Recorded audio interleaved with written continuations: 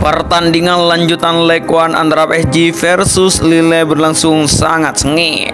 Pertandingan ini berlangsung di Parc des Prancis. Pada pertandingan ini, Lionel Messi benar-benar menjadi pahlawan untuk kemenangan Paris Saint-Germain. Lionel Messi berhasil mencetak gol di menit-menit akhir babak kedua.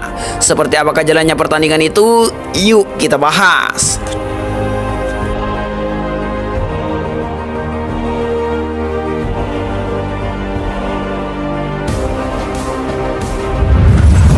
Bermain di kandang sendiri pada babak pertama PSG langsung mendominasi jalannya pertandingan.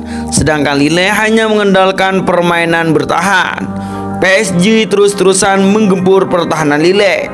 Tak membutuhkan waktu lama Mbappe berhasil memecahkan kebuntuan di menit ke-11 setelah ia berhasil membobol gawang lawan lewat aksi individunya Setelah gol tersebut PSG makin percaya diri. Messi, Neymar dan Mbappe benar-benar menunjukkan perpaduan trio menakutkannya. Tak lama dari gol pertama di menit ke-17 Neymar berhasil menggandakan keunggulan setelah Messi berhasil memberikan bayangan indah untuk Neymar JR. Skor 2-0 untuk keunggulan PSG.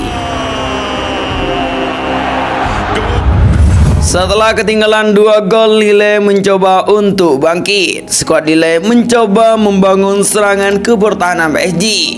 Dan hasil usaha mereka membuahkan hasil manis. Di menit ke-24, Dieket berhasil membobol gawang yang dijaga oleh Donnarumma. Skor 2-1 bertahan sampai peluit panjang babak pertama dibunyikan. Pada babak kedua pada menit awal PSG harus kebobolan dua gol sekaligus. Tak butuh waktu lama Lille langsung comeback dengan skor 2-3 sekaligus.